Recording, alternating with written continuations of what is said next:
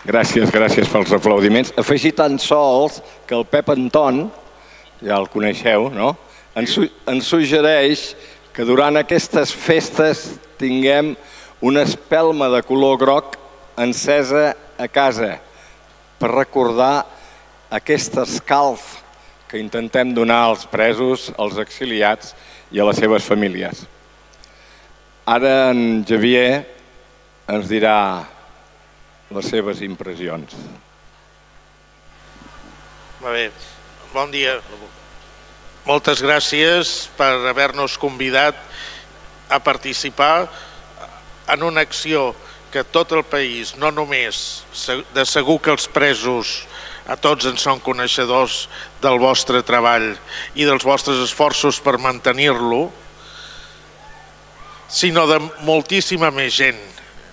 El, ahir al vespre, quan comentava que havia de baixar cap aquí, la gent del poble dona-los molts records, que són una gent fantàstica, que són un exemple per tots nosaltres. Evidentment, vosaltres heu estat i continueu estant un exemple de la lluita incansable per les llibertats. I no ho oblideu també. Els, els que en aquests moments tenen a la presó són els que en aquest moment estan a l'avantguarda. Però com bé sabeu, la repressió no s'atura només en els que tenen a la presó. Vosaltres en sou un viu exemple i vosaltres també mereixeu i teniu la solidaritat de la resta de gent. Aquests dies de Nadal, sí, com deia la companya, seran uns dies tristos per les absències, però també ens anem d'alegrar de que en aquests dies no han pogut doblegar-nos, que seguim d'en peus i seguim endavant. Gràcies a tots. Fort aplaudiment. Bé, tenim un, un parell d'accions.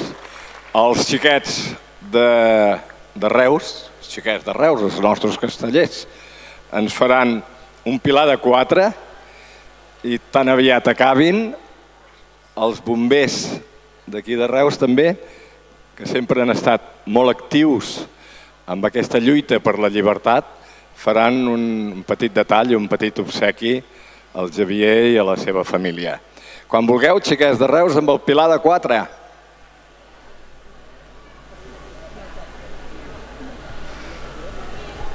Vinga, una bona pinya aquí.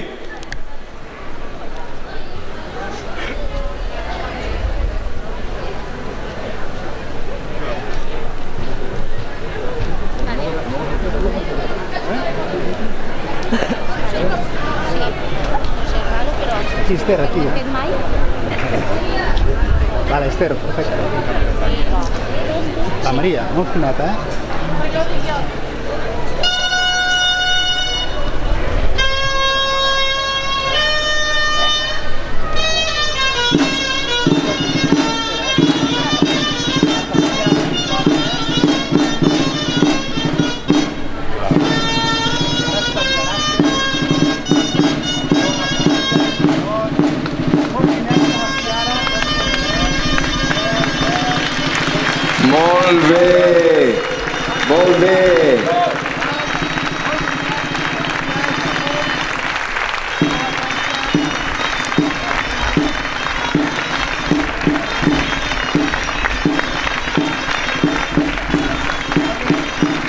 Moltes gràcies, castellers de Reus, per aquesta companyia.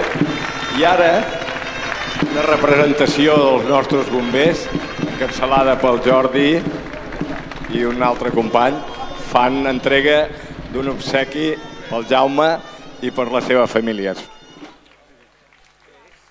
Bé, és, és un petit, eh, és el llibre del nostre aniversari, del 150 aniversari, quan vam fer aquí els bombers de Reus, i volem que els hi feu arribar al vostre germà. Moltes gràcies. Moltes gràcies i així ho farem, us el farem arribar. Molt bé. Segons l'organització de l'acte, doncs ara toca, Antonio, lo dels crits. Llibertat, presos polítics. Som-hi? Llibertat, presos polítics. Llibertat, presos polítics.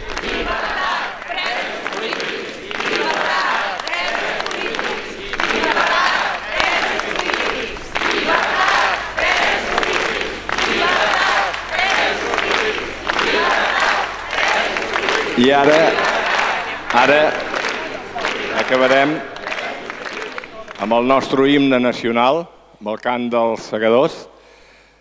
A veure si som capaços d'entonar-lo bé, no? Catalunya triomfant tornarà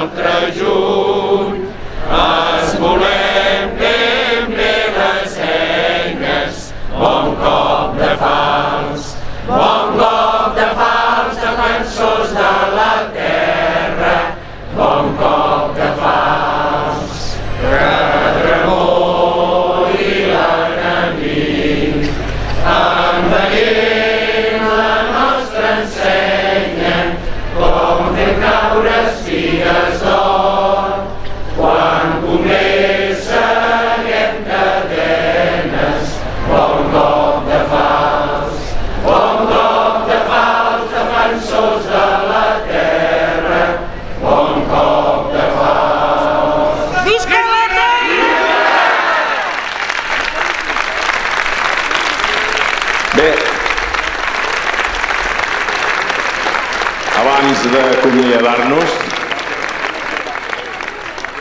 el grup d'àvies i avis per la llibertat de Reus agraeix el suport continu que hem rebut, ha rebut el nostre grup de l'alcalde de la ciutat, el senyor Carles Pellicer.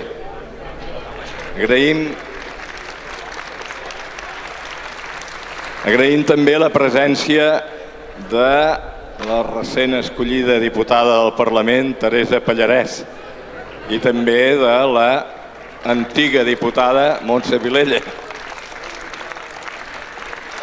i d'alguns regidors de l'Ajuntament que jo veig per aquí, la Montse...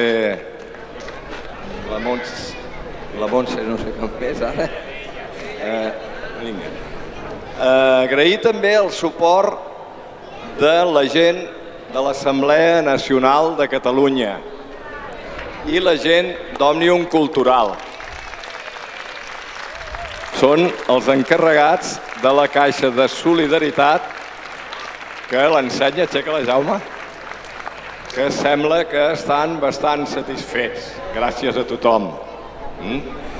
Agraïm també a la gent dels comitès de defensa de la República, a la gent de la CUP, a la gent d'Esquerra Republicana de Catalunya, tot el seu suport. Finalment, i molt especialment per l'ajuda rebuda en l'organització d'aquest acte, ho agraïm a la gent del PDeCAT o de la llista del president de Junts per Catalunya. Sense ells no haguéssim pogut muntar aquesta infraestructura. I gràcies a tots vosaltres per la vostra presència i sobretot per la vostra solidaritat. Acabem ara amb les salutacions mútues amb motiu del Nadal. Bones festes a tothom i recordeu, àvies i avis per la llibertat de Reus, que dimecres que ve, lamentablement, encara haurem de tornar a estar aquí per donar per donar suport als nostres presos polítics i als seus familiars. Molt bon dia.